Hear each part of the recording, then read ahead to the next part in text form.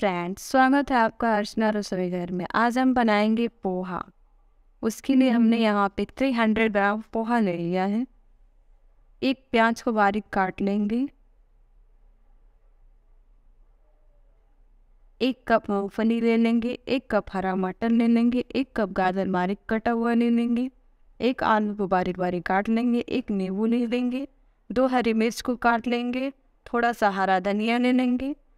कड़ी पत्ता ले लेंगे, आधा छोटा चम्मच जीरा ले लेंगे, एक छोटा चम्मच राई ले लेंगे, एक छोटा चम्मच चीनी ले लेंगे, थोड़ा सा भुजिया नमकीन ले लेंगे।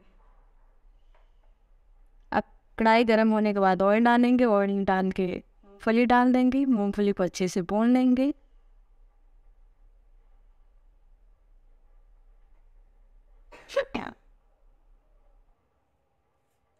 लो फ्लेम पे हमने मूंगफली को अच्छे से भून लिया है। अब इसको हम निकाल देते हैं। उसी कढ़ाई में हम दो तीन चम्मच ऑयल डाल देंगे। ऑयल गर्म होने के बाद जीरा और राई डाल देंगे।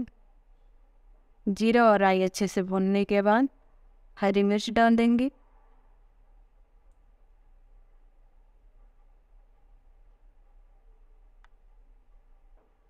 अब हम कड़ी पत्ता डाल देंगे।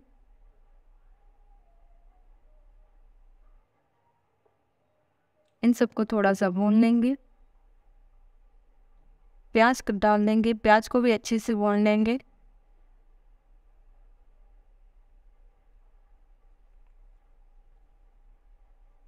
प्याज सॉफ्ट हो चुका है, अब हम आलू, गाजर, मटर भी डाल देंगे। इन सबको भी अच्छे से भून लेंगे।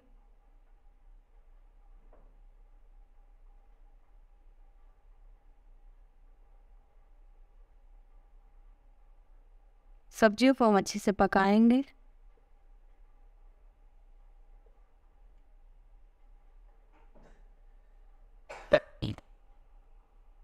जब तक हमारी सब्ज़ियाँ पक रही है, तब तक हमने पोहे को अच्छे से धो लिया है। अब इसमें एक छोटा चम्मच चीनी आधा छोटा चम्मच नमक डाल के अच्छे से मिक्स कर लेंगे।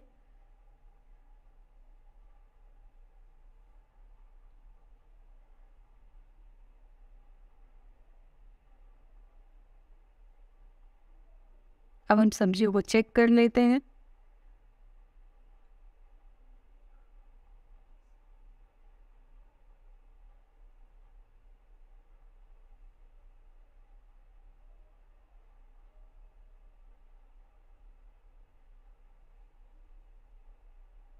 सब्जियों को लो फ्लेम पे हम ढक ढक के पकाएँगे।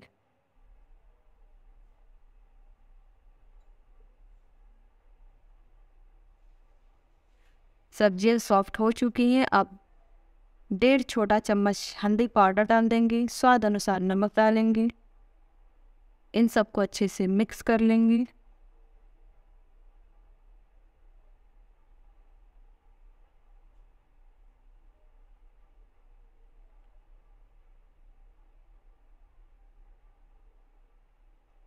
सब्जियों को ढक के हम एक मिनट तक पकाएँगे।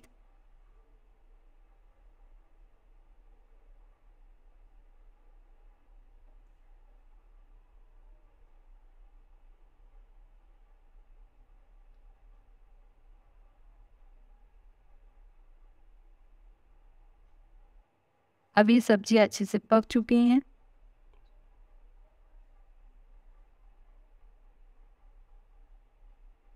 अब हम इसमें डाल देंगे पोहा।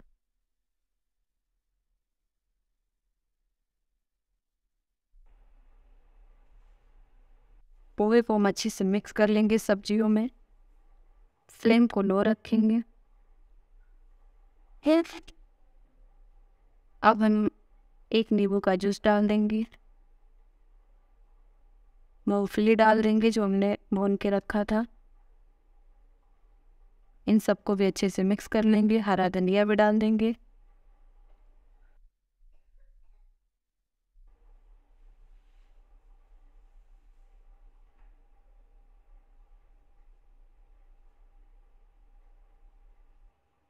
पोहे को ढक देंगे, गैस को ऑफ़ कर देंगे। अब हमारा पोहा बन के रेडी है। अगर आपको ये रेसिपी पसंद आए तो वीडियो को लाइक सब्सक्राइब एंड शेयर करें